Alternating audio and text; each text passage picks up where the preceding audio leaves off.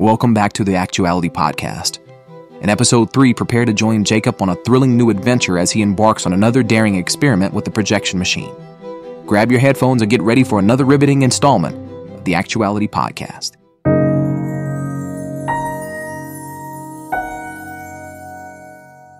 The lecturer's voice thrummed in the back of Jacob's head. He had no mind to pay attention to the lesson, as his thoughts were somewhere else completely. Some of the lesson was still absorbed, but not as much as he would have liked. His regular day classes started several days ago, but even when he was busy with other classes that he enjoyed, every waking moment he spent excited to attend the next class with Professor Melbourne. His thoughts often crossed over the possibilities of the projection machine. He hadn't thought about it that night, but he had done it. He had accessed his memories. As he looked at his timer, he wondered now how easily he could move to the next step project his memories through space and achieve time travel through the FTL methods Professor Melbourne had previously mentioned. The possibilities became more real to him every day, and he began debating about trying it by himself. Then a plan began forming and clicked together in his mind. Everything around Jacob seemed to go silent while his thoughts raced, thinking of all the possibilities that the machine opened up to him. After a bit of thought, he decided that he would enter the lab alone that night and conduct his own experiment, solely for the purpose of indulging his own curiosity. He wanted to find out whether he could travel through time as easily as he suspected he could. Jacob knew ahead of time that the lab went unused for the entire day. Of course, no classes had been scheduled for the night either, so it was the perfect time for him to give the machine a go without supervision. It was roughly 1 a.m. when Jacob entered the building and crept down the hallway in the direction of the lab. He was far from stealthy, but the only sound was of his movement, and the silence of the surrounding room was pressed in against him. Jacob neared the lab with his heart slamming inside his chest and curled his hand around the door handle. He was more than a little surprised to find it open, and he had taken precautionary measures to ensure there would be another way in if the door had been locked when he arrived. He pushed the door open, standing in the frame and looking inside the room. Before he stepped in, Jacob wondered whether the professor was too trusting of people or if the door being open was a simple mistake. His question was answered when he saw a janitorial worker exit a room down the hall. He slid silently into the lab, conscious of the loud click the door made as it closed behind him. He locked the door from inside. The only bit of light inside the room was what came in from beneath the door and the hints of moonlight which came from small cracks between the blinds covering the windows. Jacob pulled his phone from his pocket and used the bit of light it provided to navigate his way through the lab, though there was little for him to navigate around. The projection machine stood eerily in the back of the room, the shadow of the chair atop the platform looming over him as he moved closer. Jacob ignored the chair at first and went straight to the desk that held the computer used to control it. The machine was on. He had a little bit of trouble finding the program that managed the Dawn simulator, and wasted a bit of time looking through the basic projection dashboard. With a few manual searches, though, he found it. But because of the delay, he was feeling more nervous than ever about being alone in the lab. He set the Dawn simulator to wake him up for 6:30 a.m. And remembering seeing Professor Melbourne's selections, he looked through all of the settings that were available for the projection machine. There conveniently was one available for him to turn off the recording, and he did, just to save himself the time later where he'd have to find the recording and delete it so no one knew he'd been there. Without further ado, Jacob turned off the monitor to eliminate the glaring light and sat himself down on the chair of the machine. He prepped the headpiece and pulled the helmet snug over his head and laid down to try and sleep. Sleep was not something that Jacob found easily that night. The memory Jacob focused on as he became aware of his body's sleeping state was clear in his mind. Walls and other structures inside the building formed as he came to, and his mind registered where he wanted to go. The familiar walls of his old elementary school grew around him. He took a moment to admire how familiar everything looked, but soon thought better than to waste time. Who knew how much time he would have before he woke up? He walked through the empty hallways of the school, the classrooms around him containing groups of parents and students attending the parent teacher conferences. Jacob looked to find his younger self somewhere within the building, and he knew exactly where he'd be. I want to be a race car driver. He heard his younger self say. Jacob stopped outside his old classroom and waited for the right moment. Oh, honey, you could be a race car driver, but how about doing something better, like Becoming a doctor, maybe? He knew already that his younger self wouldn't appreciate the suggestion, and in response, he said something that younger Jacob couldn't hear through the wall. From what he could tell, there weren't any teachers in the classroom at the moment. He took that as his chance to act on his plan. Walking casually into the classroom, his foster parents immediately saw him and looked at him in confusion. Hi, Mr. and Mrs. Olson. I'm Mr. Evans' assistant. I just wanted to stop by for a moment to tell you about his recommendation for Jacob. Recommendations? Mr. Evans is the school's piano teacher. Your son is quite the exceptional student, and we're hoping you'd be interested in entering Jacob into full time lessons outside of school. He then knelt down to look at his younger self. Hey, buddy, you like piano, right? You have the potential to be such a great pianist. Jacob smiled, but his younger self looked at him in confusion.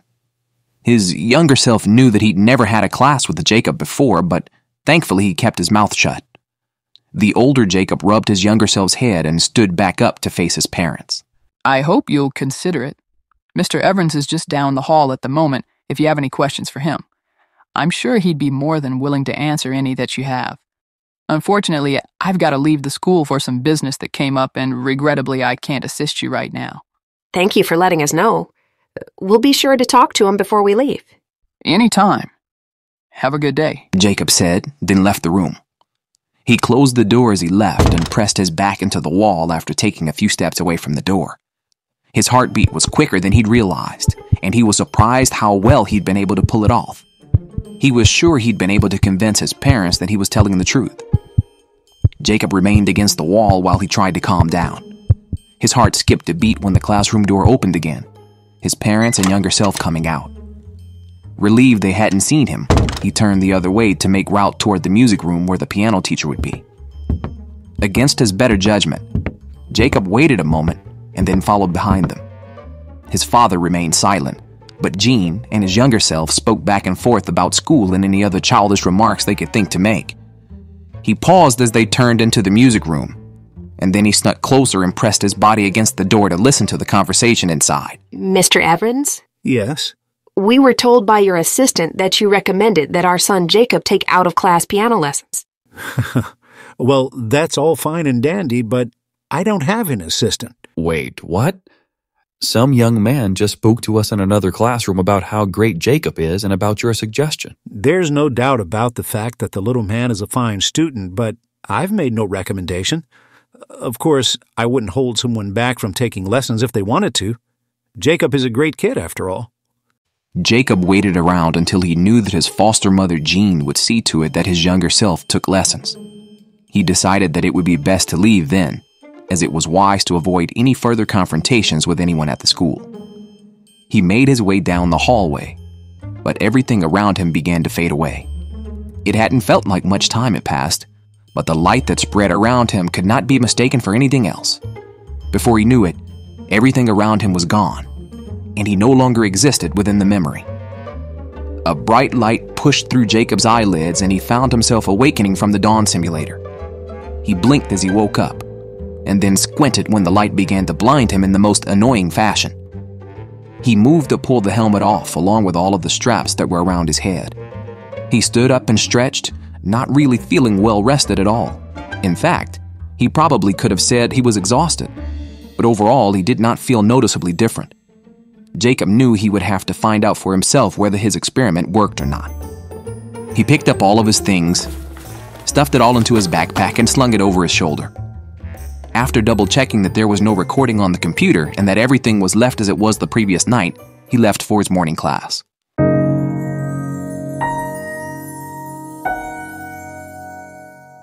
He sat in the lecture hall doodling in his notebook while he fought the same problem that he encountered the previous day in class. He couldn't get his mind off of the projection machine long enough to focus. Though that day his thoughts were more specific. He was thinking about the previous night's events. Jacob was much too curious whether it had worked or not. After a while of being in class, he realized that he hadn't been taking any notes for the lecture. With a sigh, he examined the doodles that he'd been drawing, some surprisingly detailed sketches of Zoe. He silently laughed at himself and flipped to the next page, intending to take notes. He found that he couldn't even force himself to focus on his class. Instead, his mind constantly wandered back to the memory projection. He recalled everything perfectly, but he figured that was partially because he had only woken up about an hour ago and hadn't thought about much else since. Jacob began writing about his experience in the projection. He recorded detailed notes on all of his observations and thoughts. Before he knew it, he had several pages written about the single memory, and his class was already over. Though the details of his time in the memory weren't quite as fresh in his mind anymore, he no longer solely focused on it either. His mind had cleared a bit, and he was able to think about other things. But now that the class was over, only one thing mattered. Did it work? He didn't have a clue where the musical arts facilities were before he needed them, so he had to take a little extra time to find out where they were. Once he discovered that they were directly opposite of the science building, it was smooth sailing from then on. It took Jacob some time to navigate around the buildings themselves, as the halls and rooms inside the music buildings were fairly busy. There were lots of students lugging around instruments as they passed by, some going in and out of classrooms or individual practice rooms. He found the larger communal practice rooms with the assistance of the signs on the walls. There was only one room that was completely empty, and it had a gorgeous grand piano sitting in the middle of it. He pushed the door open and went inside, seeing that the walls on either side were connected to the neighboring rooms by a pane of glass. The room next to him was filled with quite a few other students, and he could hear their chattering through the glass. The piano itself was intimidating, and he stood at the door and stared at it before he even made any attempt to get closer. For some reason, the instrument still seemed so foreign to him and his doubts on Professor Melbourne's theory about changes taking effect really began to sink in. He sat down on a not so comfortable seat and ran his fingers lightly over the keys. He avoided pressing any of them hard enough for the instrument to react with a noise, as he was just trying to get a feel for the piano itself. When he finally pushed his fingers into one of the keys, he found that the noise was somewhat familiar, kind of like a distant relative he may have met once or twice when he was younger but hadn't seen since. Well, he was there now, so he might as well try everything he could think of. Perhaps he just needed to warm up first, so that's what he tried to do. He ran his hands along the keys, but realized after a minute that he was just picking keys at random and hoping for music. In all, his efforts were fruitless. He doubted the success of his experiment and thought about everything that could have possibly gone wrong. He picked up some of the sheets of music that were resting on the top of the grand piano. He scanned the sheets carefully. He could sort of read the notes on the paper. He knew what the notes said, but looking down at the piano, he wasn't sure which notes went where. His heart raced, and he could hear blood rushing through his ears. He was getting excited, and he thought he was onto something. He propped the sheet of music up against the lid of the piano where he could read it, and with a deep breath, he tried to play. He failed at first, running his fingers along the keys. It felt awkward. He stumbled more than a dozen times while he tried to figure out which keys were which. But overall, it sounded horrible, and he physically cringed while he attempted to play. But it was his first try. He couldn't get it right on his first try. He'd never played piano in his life. What he recognized, though, was some of the sounds that the keys made.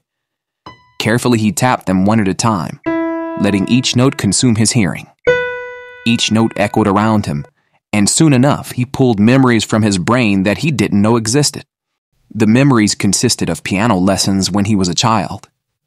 Patterns of notes and sounds overwhelmed him, jutting against his already formed memories and giving him the knowledge he needed in order to play.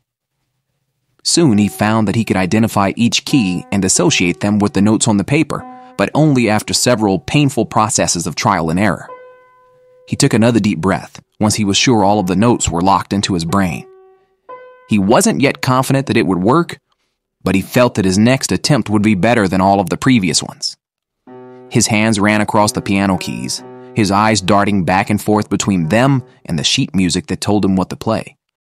The music flowed through his hands and into his fingers like a second language, one that he was still learning and was not good at. He moved on to a bunch of different songs, picking up on his mistakes and correcting them by listening to each of the notes he played and soon he was amazed at the fact that he was able to play the instrument so fluently. It wasn't long before Jacob decided he should try something harder. Something that wasn't child's play like all of the other songs he'd been trying. He flipped through several songs, picking ones that appeared to be different degrees of difficulty. He played them without any large problems, Mistakes here and there were inevitable, and he tried not to let that bother him. Eventually, he turned to the end of the book, where he found a song that looked like a scary mixture of notes he was unsure of his ability to play. To him, it seemed like the perfect song on which to test his actual ability. Stretching his hands, he placed them in the correct positions and began to play. The song went well, but there were more than a few mistakes. Almost a half hour later, the song was done. Jacob was breathless, and as he moved to get up from the piano, the rooms around him erupted in applause. The noise startled him for a moment as he wasn't aware that anyone was watching him. He looked at those who stared at him through the glass. He gave them a nervous smile. Then his eyes met with Zoe's in the room next to him. She offered him a smile in return, and after a moment, she got up to leave the room. He was after her in mere seconds.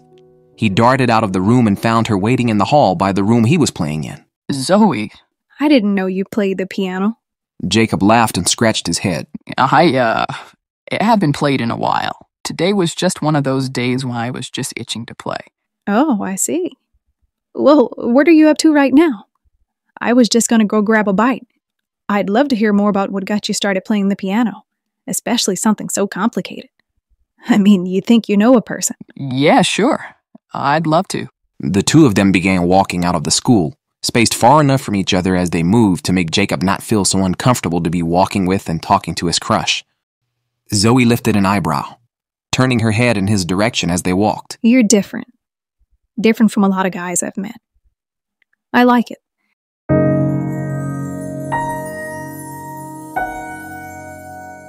Time is a more unstable element once inside a memory. You've probably had the experience of sleeping for an hour, yet feeling like you've only been sleeping for a few minutes once you wake up. Time inside of a memory projection can behave much the same way, but in reverse. In theory, of course. This takes place largely due to the lowered brain function within REM sleep, as we've previously discussed. The higher the brain activity, the greater the ability to achieve longer periods of time within a memory, even spending as much as a week or more within a memory in just a few hours of real time. I'll pass it off to the professor from here to explain more.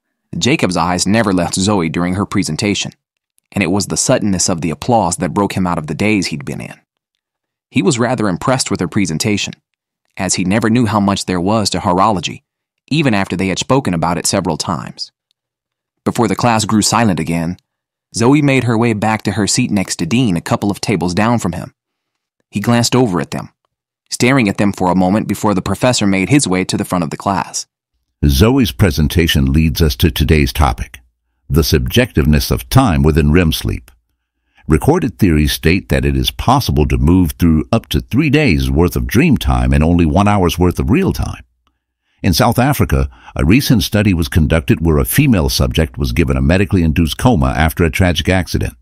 The woman was reported to have been in the coma for approximately five months, and afterwards she experienced something that had never been recorded in an experiment before. While she was in the coma, she had experienced her entire college life through her dreams. She recounted everything in precise detail over the several years that had passed in her dream time. From simple things such as who her friends were and what classes she took, to more unusual things such as her exact grades, where her dorm was, and the job she had. There were varying degrees of information that she provided, some of it proven to be in some ways accurate and other information that seemed like her mind had fabricated it for the purpose of the dreams. Jacob looked back at Dean and Zoe, seeing that they were quietly talking to each other. He watched for several minutes and was caught off guard when Zoe flicked her head in his direction. Seeing the large grin on Zoe's face, he put two and two together and realized that Dean was actually following through with his promise to ask her out for him. His cheeks flared up instantly, turning red. He forced his eyes away from both of them, but he only lasted a second or so before he looked back again. Zoe looked back at Jacob and motioned for him to come over to her just as the lecture ended.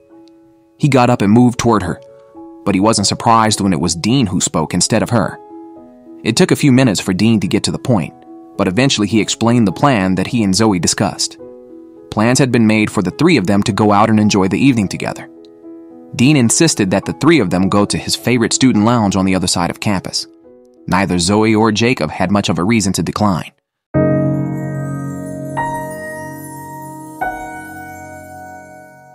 Later that evening, when all three of them had arrived, the place was somewhat busy. with wall to wall students hanging out in the area.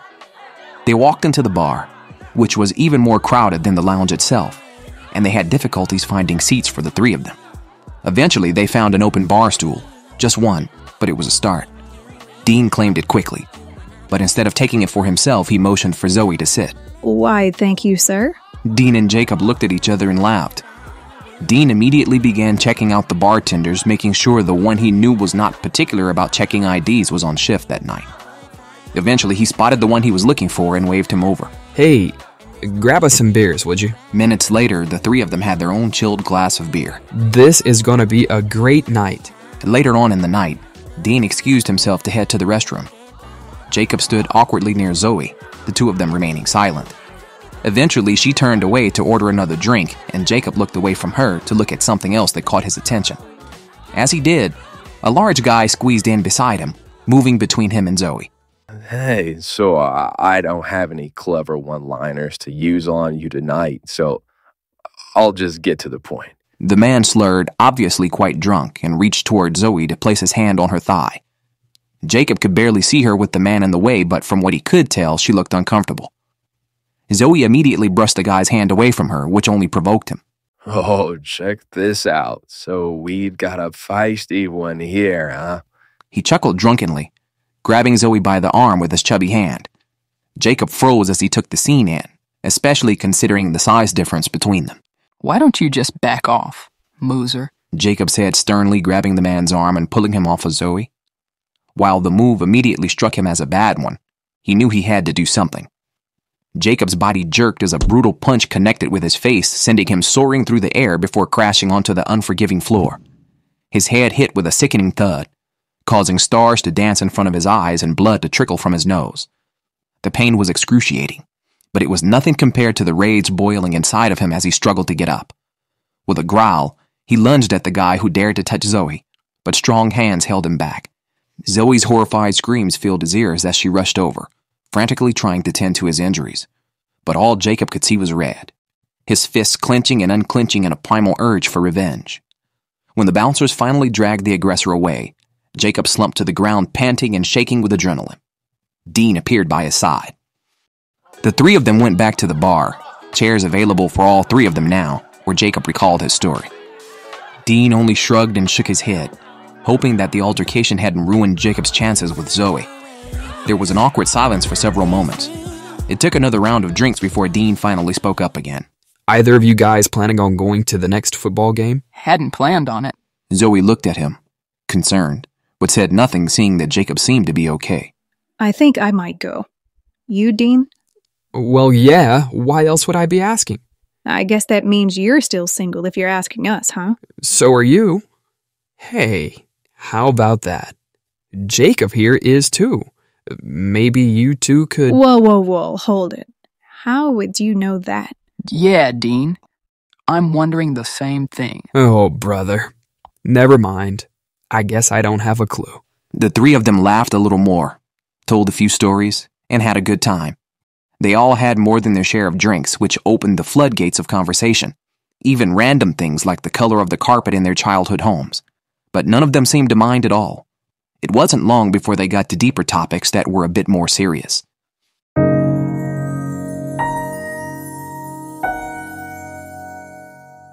Jacob was a little more than tipsy when he tried to navigate back to his dorm. He was still somewhat upset about the encounter in the bar where he'd ended up with a bloody nose, and at the moment he was seriously considering the options he had for doing something about it. He was almost at his dorm when an old memory popped into his mind. It was a memory that he'd thought about every now and then throughout the years, usually after situations such as what had happened that night. The memory was one from elementary school, and though he was a lot younger, it definitely shaped who he was. The memory was clear in his mind. It happened near the end of the school year, and he'd managed to get on the bad side of the school's bully. Jacob did what he could to remedy the problem, but the bully wasn't having any of it. In the end, the bully decided that he'd threaten Jacob to get what he wanted. The conflict ended with Jacob getting badly beaten after school in front of a crowd of students. He was enraged because his thoughts simmered on the memory. It crossed his mind several times over that he could do something about it. He had to do something about it. There were many ways he could solve how he felt at the moment, But the only solution he wanted to try was going back and altering the event that bothered him. His plan was simple. Go back to that day in elementary school and make sure he didn't get beat up. If that never happened, he'd be a different guy. I should have just broken that guy's face. He paused for a while, leaning against the wall outside the nearby building. After taking a few minutes to collect himself, he changed courses from his dorm and headed toward the lab. It's not too late. He muttered under his breath, becoming more solid in his resolve on the way there.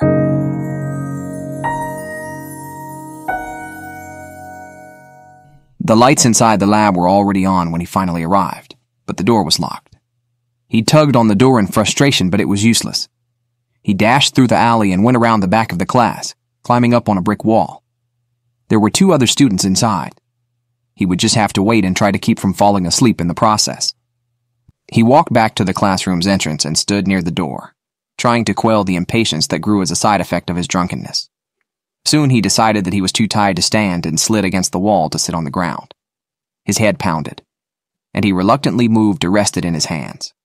Even after quite some time had passed with Jacob sitting on the floor outside the lab, the students inside didn't seem to have any intention of leaving any time soon. Jacob picked himself up from the floor and sauntered off toward the building's lobby. He sat down in one of the chairs near the hallway that led to the lab. At that moment, not too keen on moving about. He had practically passed out by the time he heard the double doors in the hallway swing open. He lifted his head in confusion at the noise, as he hadn't realized he'd fallen asleep. He peeled himself from the couch and dashed for the doors in time to see the students coming out. You okay, bro? You don't look so good. Yeah, had a little too much. You know how it is. Just a headache, though. I'm good. Oh, I see a wicked hangover coming tomorrow. The student patted Jacob's shoulder as he left. The short conversation has somewhat cleared Jacob's head. He waited several more minutes for the student to get further down the hallway before going into the lab making sure that the other student had no intention of coming back to the lab. He backed into the lab and turned to face the projection equipment. He was on a mission and was more eager this time than the last time. He set the Dawn simulator and strapped in. Sleep came to Jacob much easier than it had in his last use of the machine. He was more excited this time, but he was also drunk and exhausted. He was heading to a highly emotional place in his mind, and he felt the fear and anger that surrounded it as his mind guided him back to the school where it happened. He awoke in the elementary school's yard. The same school from the previous projection, only this time he was a bit older. When he came to, it didn't quite make any sense to him why he was outside of the school, as classes were still in session. While walking toward a small courtyard, he realized what was actually going on.